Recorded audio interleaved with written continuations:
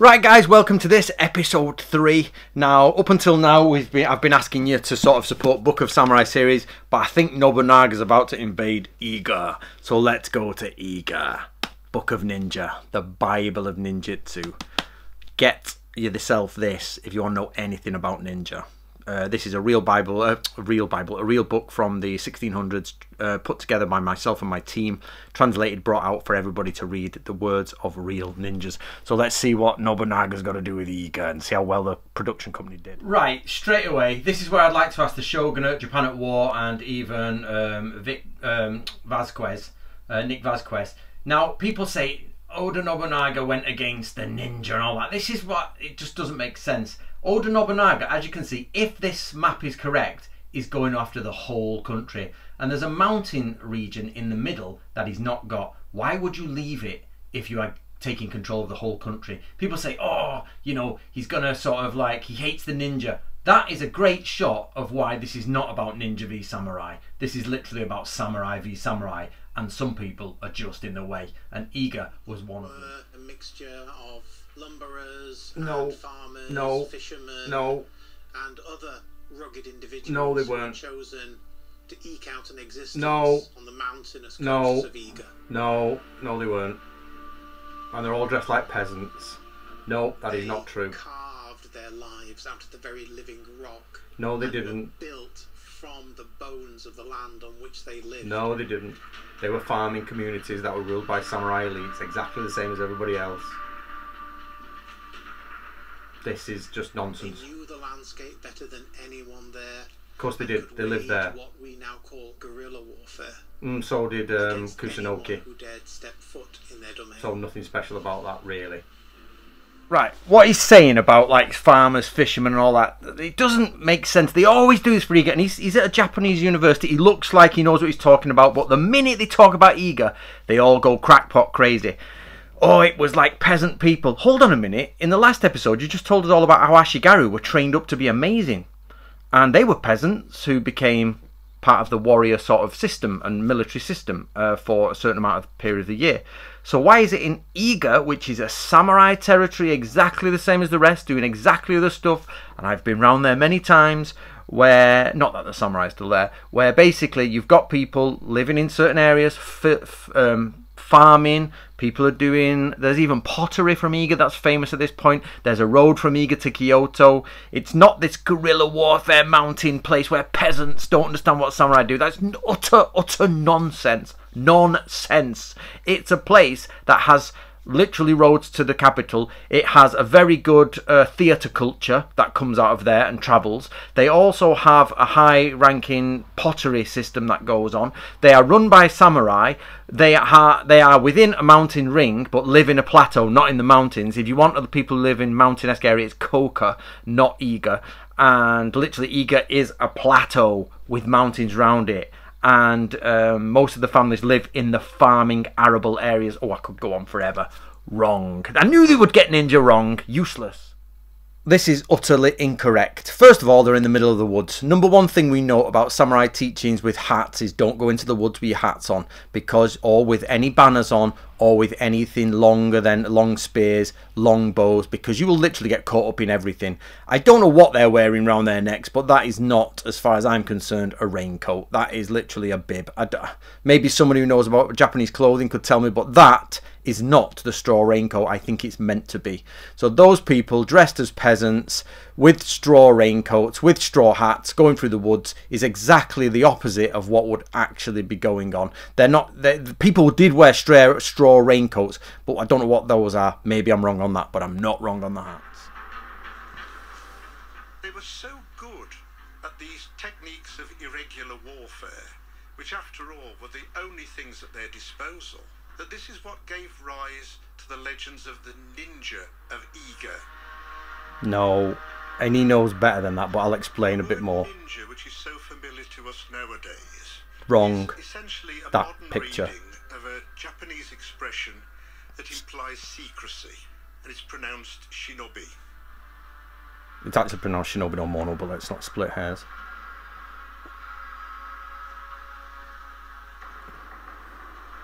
Right, this is ridiculous. No, no, no, no! Can oh, turn their hand God, somebody shoot me. Espionage, Yeah, everybody did espionage. any form of intelligence gathering, So did everyone else. Oh no. and assassins. Oh! he said it! He said it! Somebody shoot me! Somebody shoot me! They literally have a guy with a mask on and a bloody straw hat. And before you say anything about the six tools of the ninja one being a straw hat, you've got it wrong. It's not. Oh, I'm not even going to sit here, but no, the straw hat is used in um, to disguise yourself in crowds, and it's only used by one ninja school, and that ninja school is not from Iga. The mask over the face. What is he in the mask over the face for? Who's, going to recognise? It's ridiculous. Um, and then the straw hat was he's trying to assassinate someone. You mean the guard he's taking? Oh, it's not an assassination. Ah, I've spent years, years getting rid of this image, and Stephen Turnbull knows this. Now, don't forget, he you've got to isolate what he says versus what's on the screen because he doesn't know what's on the screen. As far as he's concerned, he's just talking to a camera. Then they edit it. But Stephen Turnbull has gone as far as to say the ninja are mythological that's or legendary it's not correct. We have ample evidence that the shinobi no mono totally existed um, uh, around the year 1600 which is 20 years away from this. And in the year 1600 or thereabouts they're literally talking about them as though they've been around for at least 100 years or at least beyond somebody's grandfather's grandfather ancestor. Do you know what i mean? He knows this but he's sticking to his guns um, for this. So and it's it's a big debate but it's so misleading But in addition to the normal martial arts, these would also include the techniques of preparing explosives and even in some cases poison.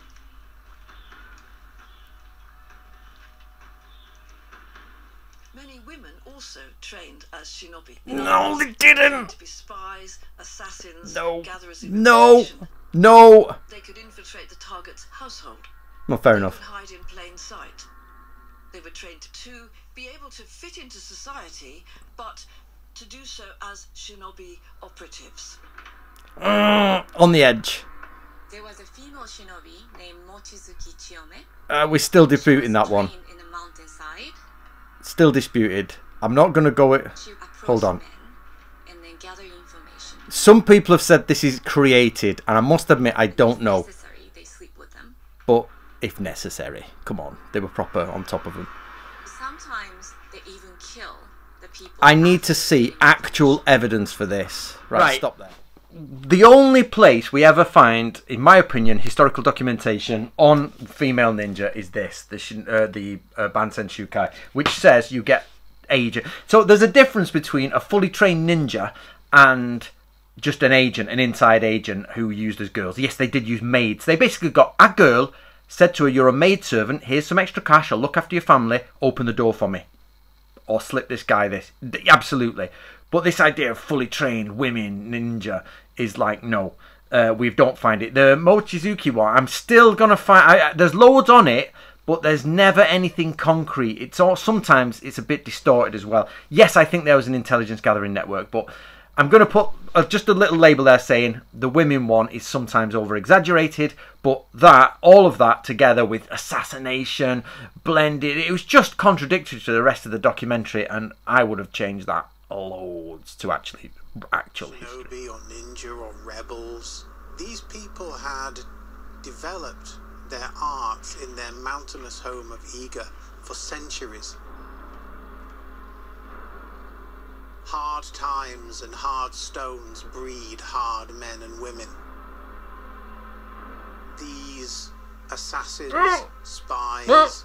and agents were not to be trifled with because they I love the could, word trifle. for a few coins, do more than an entire army could. Right, let's talk about the rest of Japan. It's just told you Nobunaga's using spies. It's just told you the last episode they have spies in everybody's house. It's just told you it's a hard life and a brutal life. But when we come to Iga, it was a hard, brutal life. They had spies and they had assassins and they they had you know spy um, like agents. This made them above the rest. The last episode, you just said everybody had that. So what made them above the rest? What actually made Iga and Thingy above the rest is they specialised in this. They weren't different to anybody else. They dressed the same, they had the same chopsticks, they did the same things, but they specialized in it and they honed it. Some samurai specialized language to speak to the Portuguese. and that's not a joke. Some samurai in the 1500s, families specialised in Western medicine, Western medicine that we base our modern knowledge on, because they had dealings with the West and the Jesuits and all of that. And some samurai did river crossing, some samurai did guerrilla tactics, espionage. That's those in Iga. It's a total contradiction, this episode. The programme was going excellent until this point, and this is where the blood is boiling because this was my job. Sort the ninjas out, and they ditched me. Hmm, hmm, hmm. We're here, we've got an image of him angry because of Iga. I don't think so. He was actually caught up somewhere else, and he sent his son but said just surround them, sort of job. Or you basically don't attack them yet. And he wasn't that annoyed with them. He was like, we'll get rid of them but just give me time. So I don't know where this rage has come from. Not sure, but maybe I'm wrong, but I don't think so. Stephen Turnbull has just said they're going to go in by three ways and kill these peasants. They are not peasants. They are samurai. The samurai of Iga have been samurai since samurai started. They appear in the Taiheiki as men of Iga. They appear there. They are samurai. They are samurai in every sense of the word. We actually have the rules for when Nobunaga came, and I've published these rules, and it says if any Ashigaru does well, promote him to samurai. Yeah, they had samurai and Ashigaru and peasants, the same as everyone else. Somebody drive a nail through my eyes because these people know that. He knows this is true.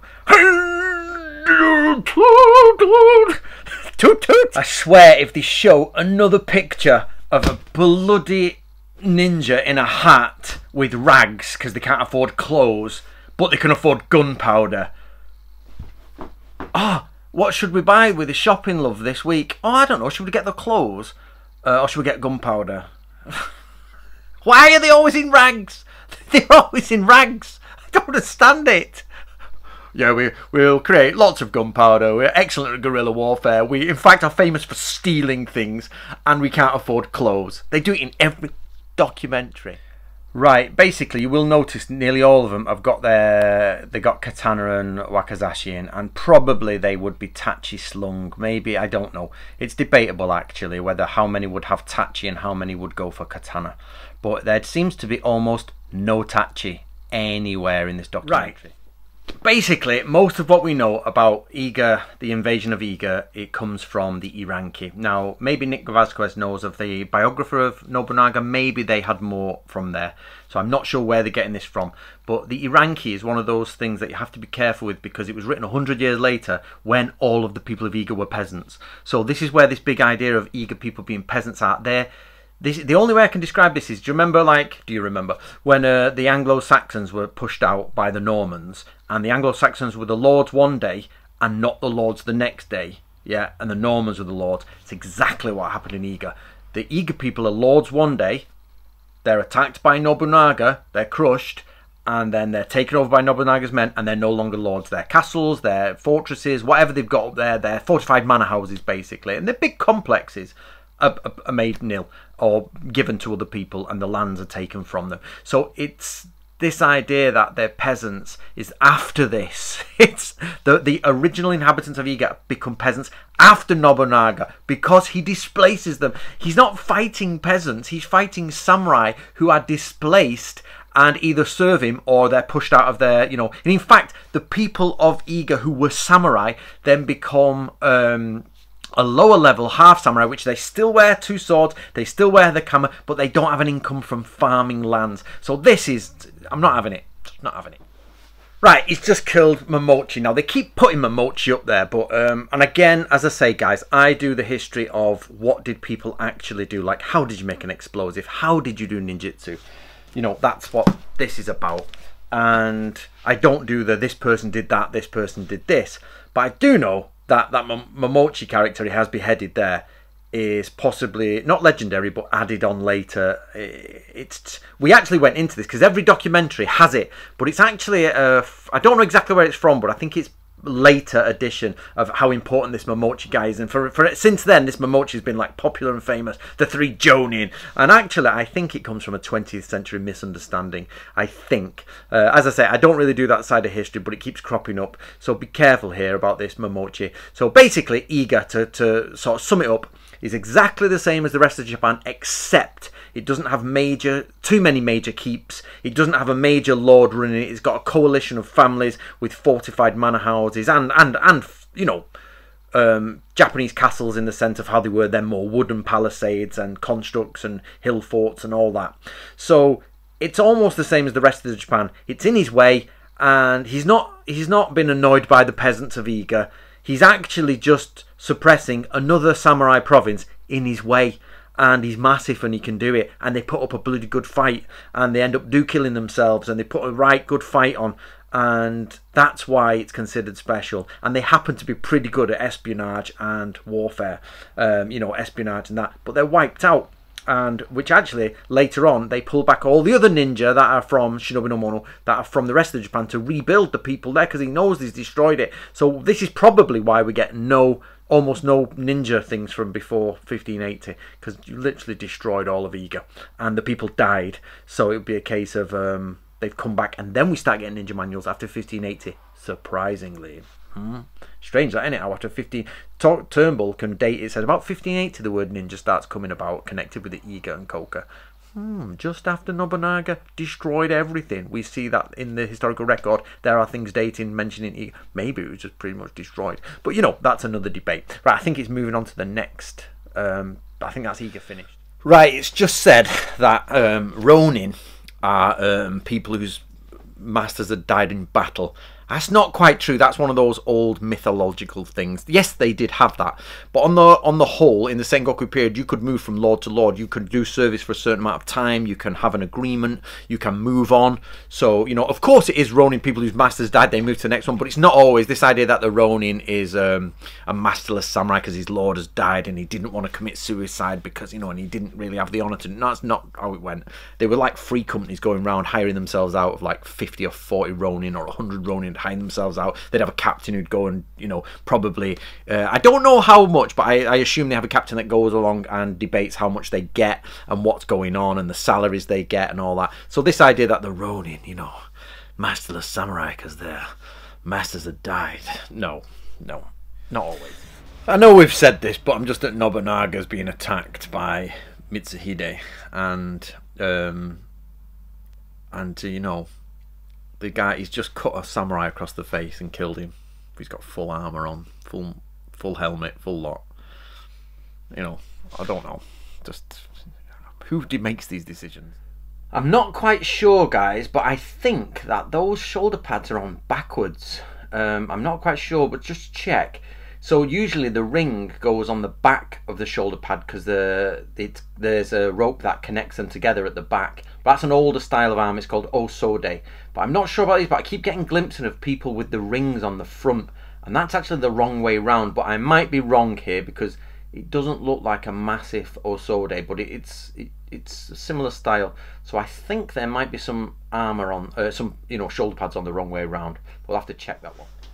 So basically, again, uh, head on a stake, which yeah is fine. It'll probably end up in a box. I'm not sure about actually happens to uh, his head, but there should be a tag in it. Really, it's not necessarily always. There should be, but I'd have put a tag on that to be honest, because uh, normally heads need to be tagged so you know who they are.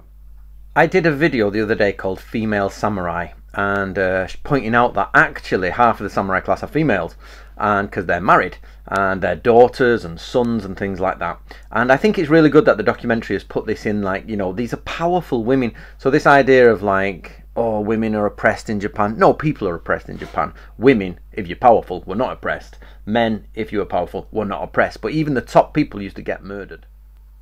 Right, guys, we are halfway through. That was the worst one so far. Uh, the ninjas were just, no, not having it. That was ridiculous. Um, we've not yet seen Tokugawa Ieyasu's flee across Iga, so I'm waiting for that to be all ninja-esque. Mm, which again I'll have a go at. Now I'm starting to just basically come across the same problems. It's like they're wearing rubber-soled trainers you can start to see the swords are really, really low quality. They're not even like, you know, they're just literally off the shelf Chinese MOCs, you know what I mean? Uh, one of the big things that I've noticed that every samurai uses a sword, a katana, but not tachi, and every uh, ashigaru uses a spear. It shouldn't be like that. Every samurai should use a spear, have a tachi or katana slung at the side, and use it as a backup. But they also have shinobi's ashi, which is hidden dagger. So basically, a samurai's got four blades on them. Number one is your spear.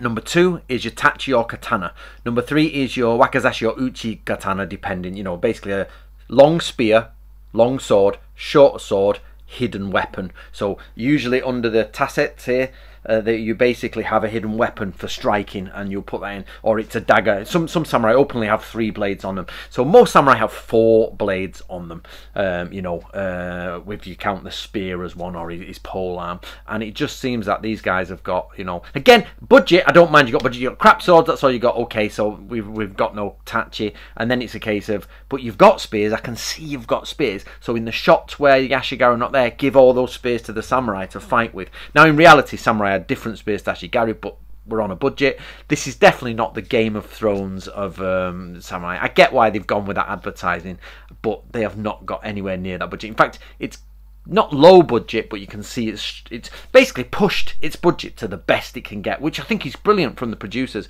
But you can see the budget is not. They can't even afford straw sandals. They actually have just got rubber soled stuff on where you can see them bending down. I think some of the armor's on the wrong way round, and bits are hanging out, and I don't know. It just it's starting to fray at the edges when you. Look. So basically, guys, if you're going to support me and what I do, and you want to know about ninjas, the Book of Ninja by far the best that's going to get you started. There's more to do, and I was hoping to go into more, but they didn't hardly touch on ninjutsu. Literally just like boom, guerrilla warfare done. That was it. All that, you know, for Iga province and everything, and they just said it's peasants who did. Oh, okay, usual rubbish. So uh, get yourself a copy of that and uh, learn the truth.